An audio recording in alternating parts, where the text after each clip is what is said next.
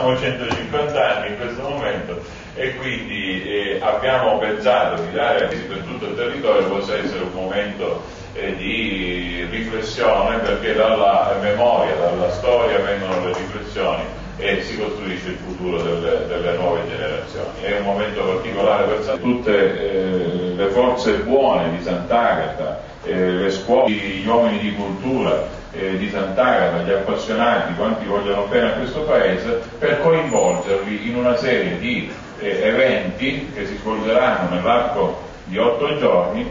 e che con questo, con questo particolare e, e, il risultato che vogliamo conseguire è che resti una eh, documentazione eh, che dal punto di vista anche eh, eh cartaceo ma anche eh, di, di, di manifestazione, eh, non solo per i Sant'Agatesi, ma per manifestazioni di eventi che si sono svolti che coinvolgono. Mi diceva il sindaco, hanno portato, va bene, non so quante migliaia di persone, segno questo che gli eventi culturali attraggono oggi perché non c'è soltanto un turismo culturale, c'è un bisogno,